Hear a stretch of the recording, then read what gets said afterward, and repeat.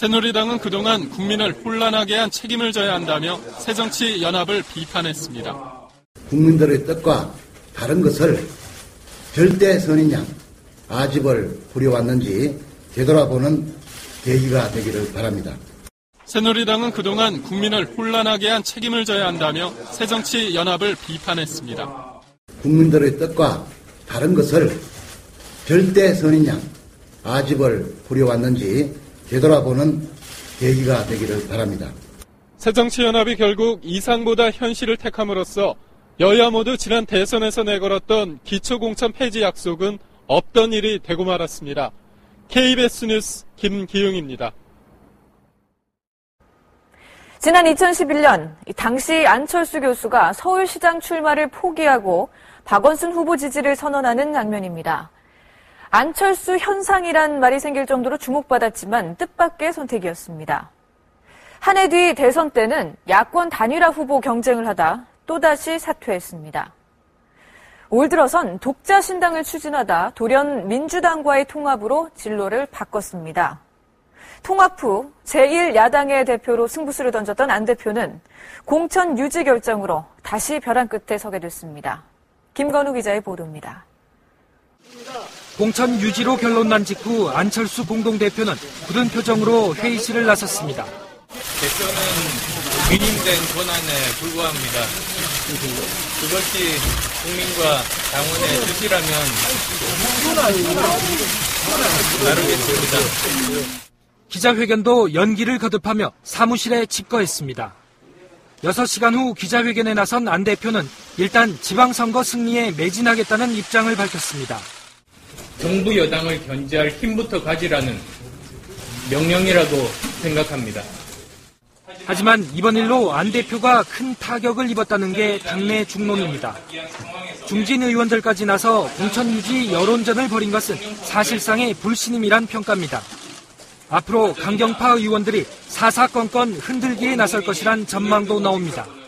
당내의 그 일부 세력들에 의해서 당대표 두 분이 많이 흔들렸다라고 보고 있고요.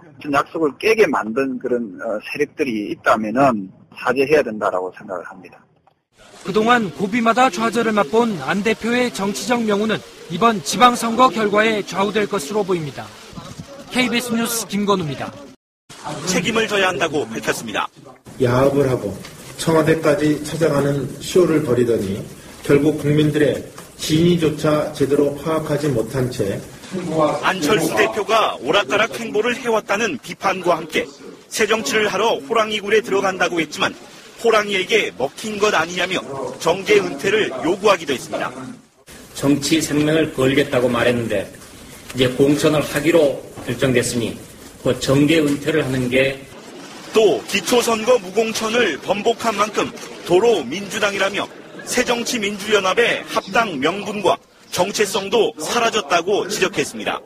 기초공천, 무공천을 철회하면 합당도 원인 무효가 되는 것은 아닌지. 새누리당은 무공천을 철회한 데 대해서 합당 명분이 사라졌다고 비판했습니다.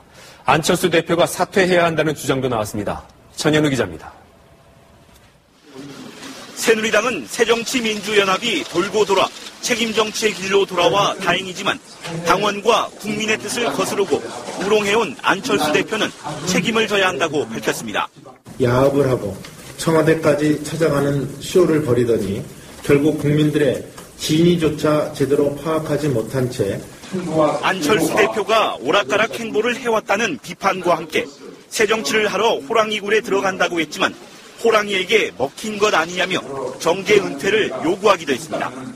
정치 생명을 걸겠다고 말했는데 이제 공천을 하기로 결정됐으니 그 정계 은퇴를 하는 게 또 기초선거 무공천을 번복한 만큼 도로 민주당이라며 새정치민주연합의 합당 명분과 정체성도 사라졌다고 지적했습니다. 기초공천, 무공천을 철회하면 합당도 원인 무효가 되는 것은 아닌지. 이어 더 이상 소모적 논쟁을 접고 민생에 전념해야 한다면서 심판은 선거를 통해 국민에게 받게 될 것이라고 강조했습니다. MBC 뉴스 천현우입니다. 서울시장 자리를 양보하고 의문 속에 대선 후보 자리를 사퇴했고 독자신당을 추진한다고 했다가 기초선거 무공천을 고리로 입장을 번복해 합당한 뒤 무공천 차려까지 정치적 고비 때마다 입장을 번복하면서 이른바 철수 정치를 한다는 비판까지 나왔습니다. 서울시장 자리를 양보하고 의문 속에 대선 후보 자리를 사퇴했고 독자신당을 추진한다고 했다가 기초선거 무공천을 고리로 입장을 번복해 합당한 뒤 무공천 차려까지 정치적 고비 때마다 입장을 번복하면서 이른바 철수 정치를 한다는 비판까지 나왔습니다.